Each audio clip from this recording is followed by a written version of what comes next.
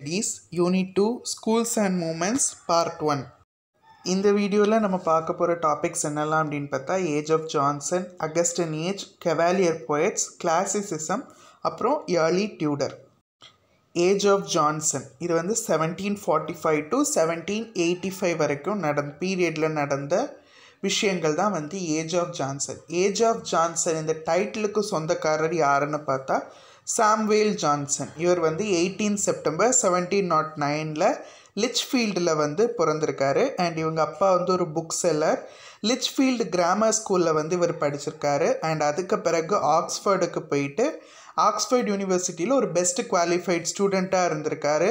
And அதுக்கு பிறகு Elizabeth Porter அப்படிங்கிற விடோ அவங்களுக்கு வந்து இவரோட இருபது வயசு ஜாஸ்தி அவங்கள வந்து இவர் வந்து மேரேஜ் பண்ணியிருக்காரு.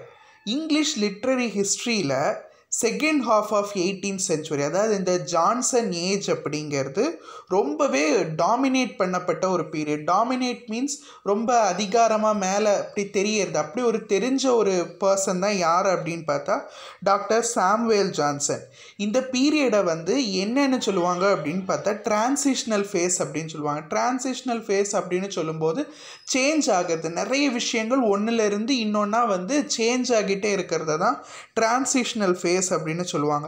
ஸோ இந்த மூமெண்ட்டில் வந்து நியோ கிளாசிசிசம்லேருந்து டோட்டலி வந்து ரொமான்டிசிசம் அந்த மூமெண்ட்டுக்கு ட்ரான்ஸ் அதாவது சேஞ்ச் ஆச்சு. ஸோ அதனால் இதை வந்து டிரான்சிஷ்னல் ஃபேஸ் அப்படின்னு சொல்லுவாங்க. இன்றைக்கி வரைக்குமே ஏஜ் ஆஃப் ஜான்சன் அந்த பீரியடுக்கான ஒரு ரெஸ்பெக்ட் இன்றைக்கி வரைக்குமே லிட்ரேச்சரில் ரொம்ப ஜாஸ்தியாக வந்து இருக்குது இந்த இடத்துல வந்து நிறைய பேர் வந்து போயம் எழுதியிருக்காங்க. ஏஜ் ஆஃப் ஜான்சனில் வந்து நிறைய பொயட்ரிஸ் எழுதியிருக்காங்க.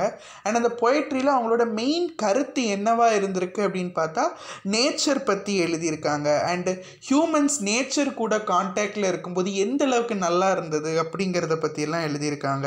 ஸோ நான் ஃபிக்ஷனல் ப்ரோஸ் ரைட்டர்ஸ் யாரெல்லாம் அப்படின்னு பார்த்தா ஜிபான் அப்புறம் ஜேம்ஸ் போஸ்வெல் அண்ட் இப்போ உங்களோட ஒர்க் என்னெல்லாம்னு பார்த்தா ஜிபானோட decline and fall of the Roman Empire James போஸ்வெல்லோட life of Johnson இங்கே கேட்கலாம் life of Johnson seventeen ninety ஒனில் வந்திருக்கு. அப் இது ஏஜ் ஆஃப் ஜான்சன் இல்லை அப்படின்னு சொல்லலாம்.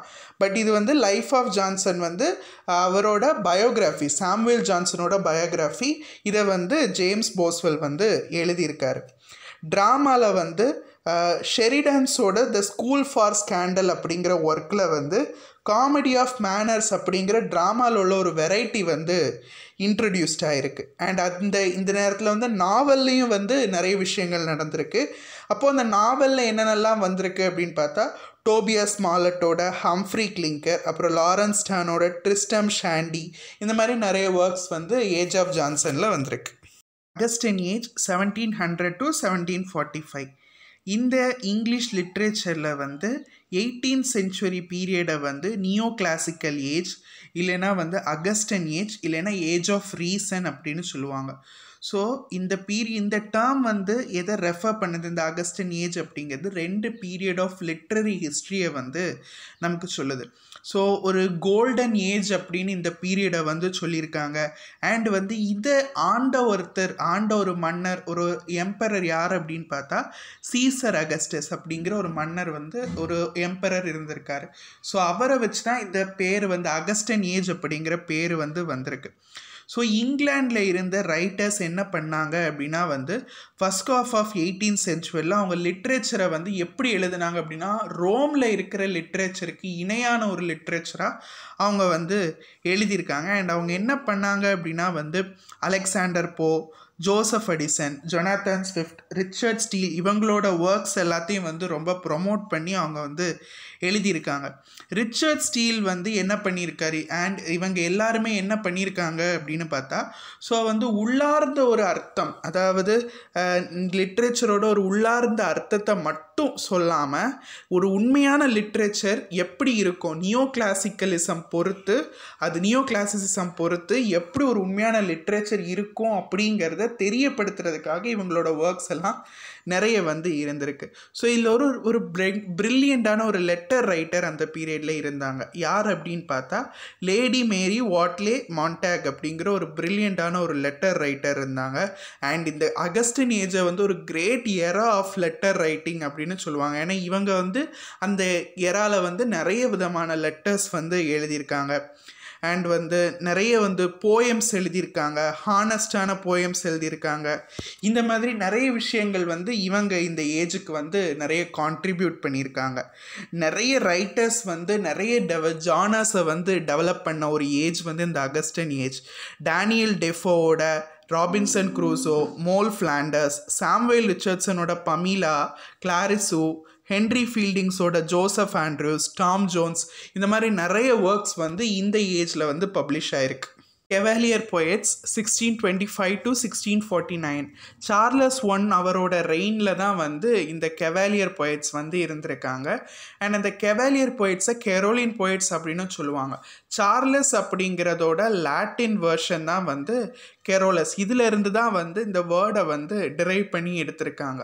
இங்கிலீஷ் சிவில் வார் நடக்கும்போது இங்கிலாந்து வந்து ரெண்டு குரூப்பாக வந்து டிவைட் ஆனாங்க. என்ன அப்படின்னா வந்து ஒரு குரூப் யார் அப்படின்னு பார்த்தா சப்போர்ட்டர்ஸ் ஆஃப் கிங் அண்ட் இன்னொரு குரூப் வந்து supporters of parliament supporters of கிங்கை வந்து என்னன்னு சொன்னாங்கன்னா கெவாலியர்ஸ் அப்படின்னு சொன்னாங்க. சப்போர்ட்டர்ஸ் ஆஃப் பார்லிமெண்ட் அதாவது ஆலிவர் குரோம்வெல்லை சப்போர்ட் பண்ணுறவங்கள ரவுண்ட் ஹெட்ஸ் அப்படின்னு சொன்னாங்க. ஸோ இதில் உள்ளவங்க தான் இந்த கெவாலியர்ஸ் ஸோ இந்த கெவாலியர் போயட்ஸ் வந்து மேக்ஸிமம் எந்த தீமில் எழுதுவாங்க அப்படின்னு பார்த்தா லவ் அப்புறம் வார் இந்த தீமில் தான் வந்து அவங்க எழுதுவாங்க. அண்ட் பென் ஜான்சன் வந்து அதிகமாக இவங்களை இன்ஃப்ளூயன்ஸ் பண்ணியிருக்காங்க. பென் ஜான்சன்ஸோட ரைட்டிங்ஸை ரொம்ப ஃபாலோ பண்ணுறவங்க ஸோ அதனால இவங்க அவங்கள வந்து நாங்கள் வந்து பென் ஜான்சனோட சன்ஸ் அப்படிங்கிற மாதிரி அவங்கள வந்து அவங்களே கூப்பிட்டுப்பாங்க. ஸோ ரிலீஜியன் அண்ட் ஃபிலாசபி இந்த மாதிரி காட்டாமல் கெவாலியர் போயட்ஸ் வந்து எந்த விஷயத்தில் ரொம்ப கான்சன்ட்ரேட் பண்ணாங்கன்னா விட்டி அண்ட் செலிப்ரேஷன் அதாவது நகைச்சுவை அப்புறம் கொண்டாட்டம். இந்த ரெண்டு விஷயங்களில் அவங்க ரொம்பவே ஃபோக்கஸ்டாகி எழுதியிருந்தாங்க.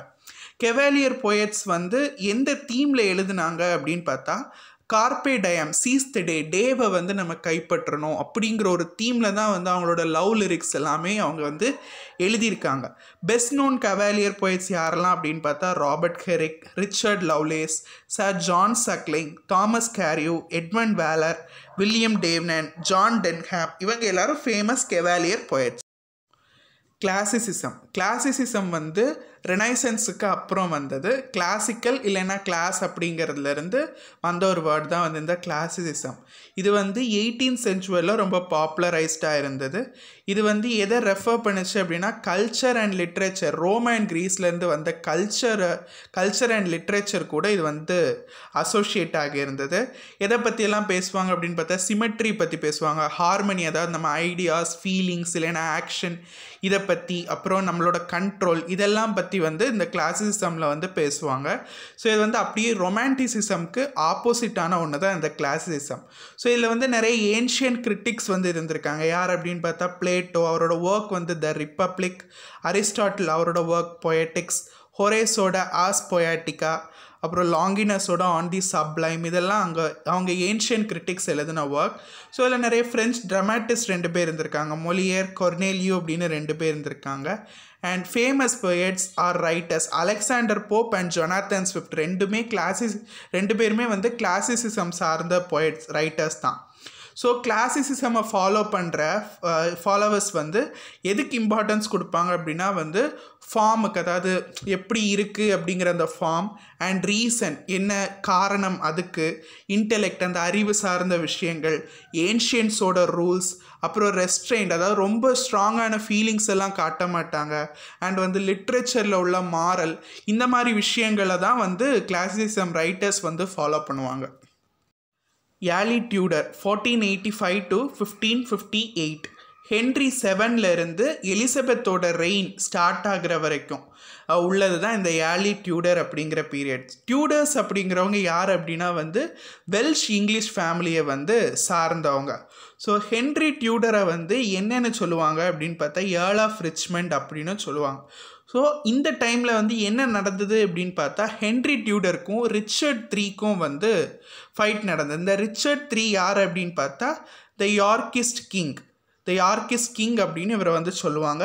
ஸோ இந்த அந்த வாரோட நேம் என்ன அப்படின்னு பார்த்தா பேட்டில் ஆஃப் போஸ்வர்த் இல்லைன்னா வார் ஆஃப் ரோசஸ் இது வந்து ஃபார்ட்டீன் எயிட்டி ஃபைவ்ல வந்து நடந்த ஒரு வார் இந்த வார் வந்து ரொம்ப முக்கியமான ஒரு விஷயம் இந்த ஏர்லி டியூடர் பீரியடில். அப்புறம் ஹென்ரி எயிட் வந்து ஃபிஃப்டீன் ஃபார்ட்டி செவனில் வந்து இறந்து போயிட்டார். ஸோ இந்த டைமில் ப்ரொட்டஸ்டன்ஸோட சப்போர்ட்டரான எட்வர்ட் ஒன்னை வந்து கிங்காக வந்து க்ரௌன் பண்ணாங்க. அண்ட் அதுக்கு பிறகு யார் வந்தாங்க அப்படின்னு பார்த்தா ஃபிஃப்டீன் ஃபிஃப்டி த்ரீல வந்து குவீன் மேரி அப்படிங்கிற ஒரு குவீன் வந்து வந்தாங்க. ஸோ அவங்கள வந்து பிளெடி மேரி அப்படின்னும் சொல்லுவாங்க. ஏன் அப்படி சொல்லுவாங்க அப்படின்னு பார்த்தா அவங்க வந்து அவங்களோட ஆட்சி காலத்தில் வந்து நிறைய பீப்புளை கொலை பண்ணியிருக்காங்க. ஸோ அதனால வந்து அவங்கள பிளெடி மேரி அப்படின்னு சொல்லுவாங்க. ஸோ இவங்களுக்கு அப்புறம் யார் வந்தாங்க அப்படின்னு பார்த்தா எலிசபெத் ஆனே பொலைனோட டாட்டர் எலிசபெத் வந்தாங்க. அவங்கள வந்து ஃபிஃப்டீன் ஃபிஃப்டி எயிட்டில் வந்து குவீனாக வந்து அறிமுகம் பண்ணாங்க. இதனால வந்து ஏர்லி டியூடர் பீரியட் வந்து ஒரு முடிவுக்கு வந்தது. வீடியோ பிடிச்சிருந்தா லைக் பண்ணுங்கள் கமெண்ட் பண்ணுங்கள் ஷேர் பண்ணுங்கள் மறக்காமல் எங்களோட லிட்ரரி vlogs சேனலை சப்ஸ்கிரைப் பண்ணுங்கள் தேங்க்யூ